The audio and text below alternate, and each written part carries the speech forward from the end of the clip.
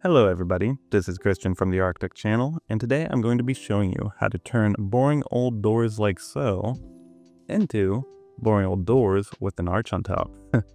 and before I get into that, I'm actually going to show you how to do arched openings first because they're a little bit easier before we get into the more complicated doors.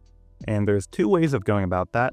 If you're only doing like one arched uh, opening in your whole model, I recommend just doing it this way uh, go into the wall that where you want the arch, and then you can just physically draft the exact arch you want. And I need to split the floor here real quick so I can adjust the opening for the floor as well. And voila, an opening as easy as that. However, if you have multiple arches or you're planning on including multiple arches, uh, I would suggest creating a new door type. And these are the four that I have by default. If you don't see, or we are going to need to add more. So you can go to load family, or additionally, you can also go to insert and load family from there. And you should see all of these other models that aren't loaded by the get-go, but they're included in the Revit or uh, in the general Revit folder when you install them. Um, if you don't come here right off the bat, this is uh, the pathing, desktop, this PC, OS, program data, Autodesk, Revit 2024, libraries, Imperial, English, and US. But you can also use metric. I'm not, um, you can use whatever you want, not judging. Um, but we're actually going to go into the doors file and we're going to find this one that's called door opening. Open that and then we can just go back to doors under the architecture tab and voila, it should be there. You can pick whatever size you want. I'm just going to do that one. Place it there. And as you can see, we have a door opening, but it's not exactly arched. Uh, we're basically just going to be using this as a template and we're going to click edit family. And I know this may be uncharted territory for you, uh, editing a family, but it's very simple. We're just doing a few uh, basic changes. But what we're going to have to do is go to elevations and uh, you can do backside. And what you see here are two things. You see the actual wall and then you see a void in the wall, which is called opening cut. We're going to want to click on that and then hit edit sketch. And all we have to do is add our arch on top and make it one foot six, and then we can delete this. And literally as easy as that. You can hit check mark, you can hit load into project. I'm actually going to save this first. I'm going to save this family. Door opening. I'm going to name it Arch, just so I have it for later. And then I can hit load into project. And I can place it. And voila, as easy as that. And the great thing about this is it's included with all the parametric data. So I can hit edit type and make sure to duplicate. Always want to duplicate. I'm just going to name it arch because I'm not sure what dimensions I'm going to do yet. But let's make it four feet by eight feet because we want that grand opening. Hit apply, hit OK, and you can see it open like that as well. So that was pretty easy. And if you want to edit it even more, you can go back in, hit edit family. Uh, one thing that I didn't do is I didn't really make it an accurate height. As you can see, um, this is seven feet, and that's uh, where it's grabbing the parametric data. If I want it to be more accurate, I can move this down. Uh, gotta move it down this way so we can reference that plane. And now it's actually going to be seven feet where it says seven feet. Uh, earlier I had it up there and who knows what the actual height was. But if I hit load into project and close, and I do want to save it, overwrite the existing version, it should update just like that. So now, theoretically, if I just click that point, go down, uh, I should have used the measure tool. What am I doing? Dude, I don't know how to measure, but it's it's around eight feet. okay, just trust me, bro. Just trust me. So now that we have the openings down, it's time to find a door. And we're gonna do the exact same thing. We're just going to find a door that we like and we're going to modify it. And I'm actually going to go into here and try to find some other doors. A commercial, uh, residential.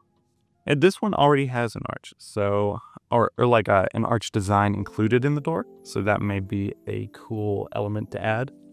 And we can click whatever one we want. You can click them all if you want. um, I'm just going to do that for uh, the sake of keeping it simple. And bada bing, bada boom. There's our door right there. Not too shabby, not too shabby.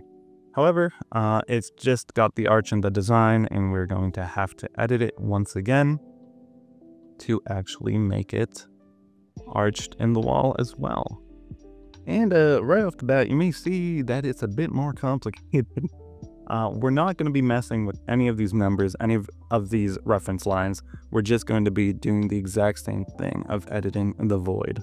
So trim, sweep, hit tab a few times. We want to see uh, the opening. Where is that opening? Opening cut, edit sketch, and all we have to do is add our line up here. So you can either add the perfect like circular tangent one that it gives you. Um, we actually already have an arched at a certain angle. So what I'm going to do is actually pick this line and reference it. Uh, so real quick, from this pink line is 5 and 3 fourths. So I'm going to pick that and offset it by 5 and 3 fourths. So we get a perfect little angle. And where's this darn trim tool? I'm going to extend those, delete that, and lower, uh-oh, I think I used the trim tool long, wrong. Ugh, I hate this trim tool. It's a very useful tool, but I've been gone from Revit for a while, so it's, uh, it's faking me out sometimes. Uh, let's save this.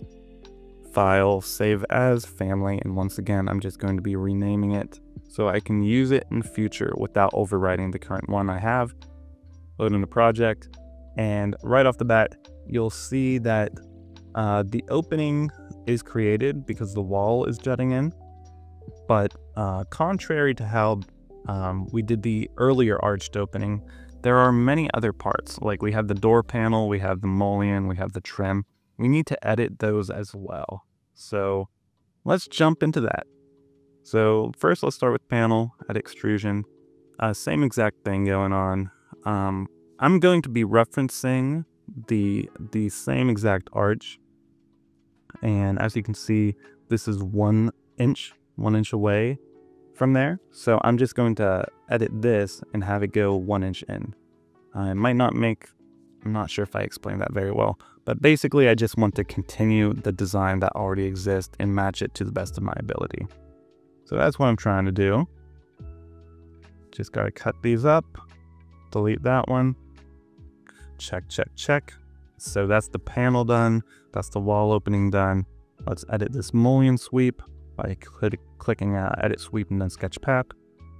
And this one seems to be exactly where that opening was. So we can just click this exact one. We don't even need to offset it. And then once again, I'm just getting rid of this excess geometry, clicking that check mark, clicking it once again. And I believe there's one more thing that we have to edit. Edit sweep, sketch path. And uh, yeah, it's getting a little monotonous, but it's pretty easy. You don't get overwhelmed by all of these extra things. All right. So that's one inch away. I think I already did one that's one inch away. So it might be either of these. I'm going to go with this one. And once again, just trim the excess fat. If I can do it correctly. Bada bing, bada boom. Get rid of that one. Check mark, check mark. And we can do one final load into project, overwrite what's already existing. And look at that. As easy as pie. I know I did that a little bit fast, but hopefully um, you can put it on like 0.75 speed or something and it'll get the message across. Uh, one thing to note is uh, if we go back into that model there, we were in exterior mode. And uh, if we scroll around to the other side of the wall here, uh, it's not updated yet. Uh, you have to do that exact same process to the interior side as well. You can see the interior side is a little messed up. It's actually not that bad though. Most of the things we did edit affected both sides, like the opening and the panel. It seems like it's just that remaining molding on top that really needs updated. So for the purpose of this video, I think it's going to be fine, but make sure to do that final little cherry on top to finish off your door, and you'll thank yourself later.